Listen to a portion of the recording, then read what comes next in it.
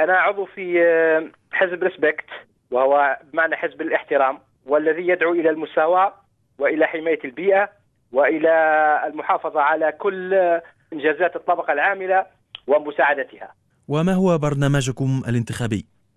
برنامجنا الانتخابي يكون محصورا في الدائرة التي نحن فيها مثلا نريد أن نقيم عدة مراكز للشباب ولكبار السن ومشروع حماية البيئة وللنظافة في الدائرة الانتخابية التي أخوض فيها المعركة الانتخابية. قلت إنك أنت شخصيا انتقلت من حزب العمال إلى حزب ريسبكت بسبب شعورك بأن حزب العمال غدر بك أو خان مبادئك بعد دخوله الحرب في العراق. هل موقفك من الحرب في العراق هو العنصر الفيصل في انتمائك الحزبي بصرف النظر عن أي اعتبار آخر؟ آه نعم آه موضوع آه حزب العمال الحاكم في الحرب على العراق أو غزو العراق هو سبب رئيسي جدا.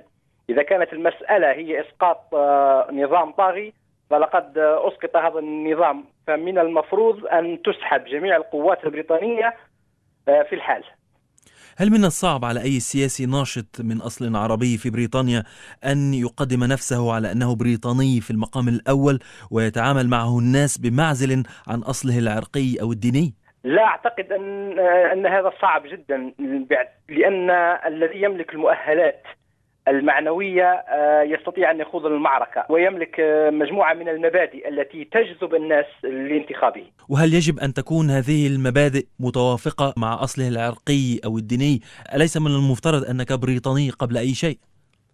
نعم ولكن هناك مبادئ متفق عليها مثلا الدخول في حروب مع شعوب أخرى القضية البيئة قضية العنصرية إسلاموفوبيا هذه أمور متفق عليها.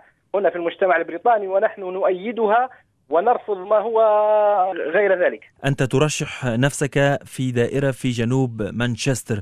هل هناك قضايا أخرى غير الحرب تطرحونها في حزب ريسبكت في برنامجكم الانتخابي؟ آه، أقصد هنا موضوعات تتعلق بالحياة اليومية والضروريات الملحة لسكان المنطقة أو الدائرة الانتخابية. نعم سيدي. هناك موضوع الصحة وعدم خصخصة المرافق الصحية هناك موضوع الإسكان وعدم بيع آه، ما تم إنجازه بالنسبة للمساكن المحلية التي بنتها البلديات أو الدولة. لا يوجد الكثير من العرب الذين يخوضون التجربة الحزبية والسياسية هنا في بريطانيا. لماذا؟ أعتقد يا سيدي آه، اولا آه، أعتقد أن العربي المهاجر ورث أو جلب معه من بلاده أو من الموطن الأصلي جلب معه الخوف من الممارسة السياسية. واعتقد أن هذه عقدة يجب التخلص منها. يجب عليه الاندماج في المجتمع الذي يعيش فيه ولديه كل الحوافز التي تساعده وتشجعه على ذلك. وهناك لا يجب, لا يجب أن يكون انعزاليا يجب أن يندمج في المجتمع.